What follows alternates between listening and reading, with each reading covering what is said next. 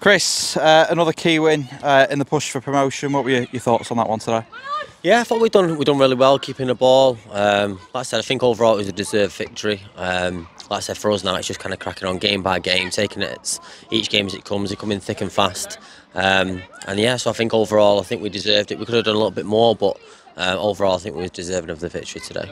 And obviously yourself went off just before uh, half time after a, a bit of a, a collision uh, in the middle of the park. Um, just tell us a bit about that and, and how are you doing?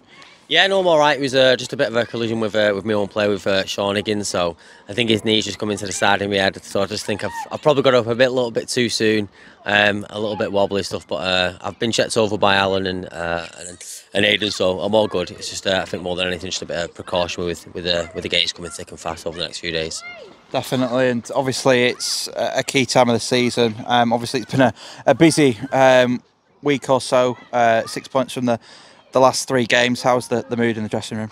Yeah, it's good. I think definitely after the uh, the game against Vauxhall, I think we just wanted a reaction. Um, and listen, we've got these games. Whenever you, let's say, if we don't play the way we want to perform or we don't pick up the points, you know, there's always a game right around the right, right around the corner for us to, to kind of go into. So the mood's good. We're, we're, we're only only looking at the next game ahead. Um, but yes, overall the mood's brilliant in the group, and we're, we're looking really kind of positive uh, ahead of uh, next Tuesday now.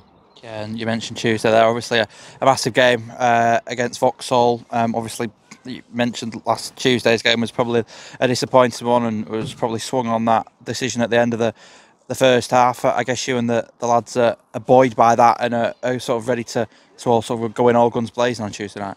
Yeah, listen, it's going to be it's going to be a, another new game. Do you know what I mean? We'll, we'll take each game as it comes. Um, that game's gone now. We've had two games since then. Um, we'll just go to head of Tuesday. We'll, we'll prepare. Um, we'll get ready. The boys will be ready, and we'll uh, we'll be raring to go. Perfect. Cheers, Chris.